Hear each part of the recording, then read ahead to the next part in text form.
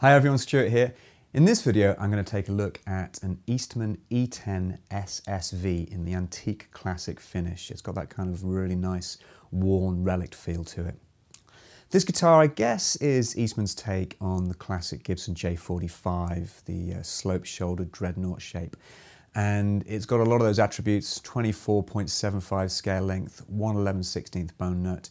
It's a fantastic guitar and it's handmade in China and the street price is really good. They retail for about $13.99 over here in the UK. I bought this one about five months ago and I've been really happy with it. I've used it on a lot of recordings um, in a lot of different styles and it just does what you want this kind of guitar to do. So what I'll do is I'll demonstrate it from two different perspectives. I'll start off by playing it in a full band mix so you can hear how it sounds in the context of other instruments and then I'll play it solo fingerpicked in the room so you can just really get a sense of how the guitar itself sounds. I've mic'd it with a Royer 122 and a Gefell M300. The only processing I've done to the guitar is to take off a little bit of low end just so it sits in the track a little bit better. And the same thing with the solo track, just a little bit of 100 hertz cut out so it doesn't sound quite so fat. Okay, hope you enjoy and let me know what you think.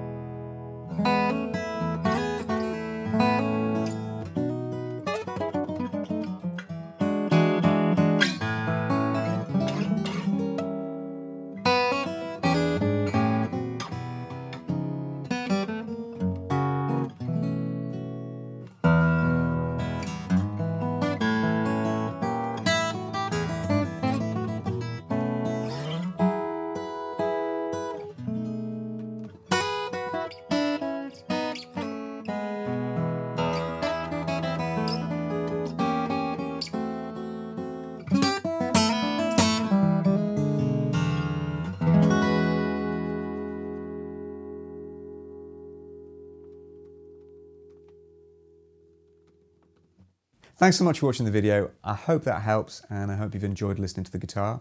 Um, I know video demos aren't always the best way to really hear how an instrument sounds, so I've done my best to convey what this guitar does, but they're well worth hearing, well worth checking out yourself.